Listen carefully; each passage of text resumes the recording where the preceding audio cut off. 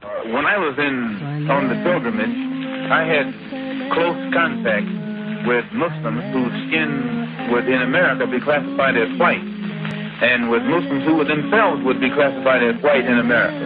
But these particular Muslims didn't call themselves white. They looked upon themselves as human beings, as part of the human family, and therefore they looked upon all other segments of the human family as part of that same family.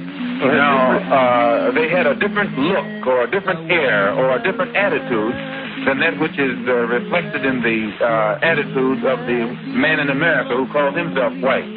So I said that if uh, Islam had done this, done that for them, perhaps if the white man in America would study Islam, perhaps they could do the same thing for him.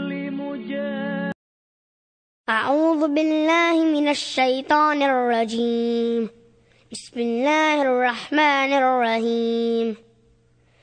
يا أيها الناس إنا خلقناكم من ذكر وأنثى وجعلناكم شعوبا وقبائل لتعارفوا إن أكرمكم عند الله أتقاكم إن الله عليم خبير.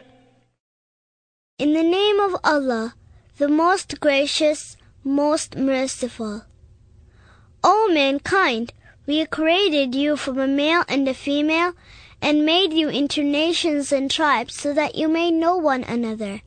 Verily, the most honored among you in the sight of Allah is the one who is the most righteous.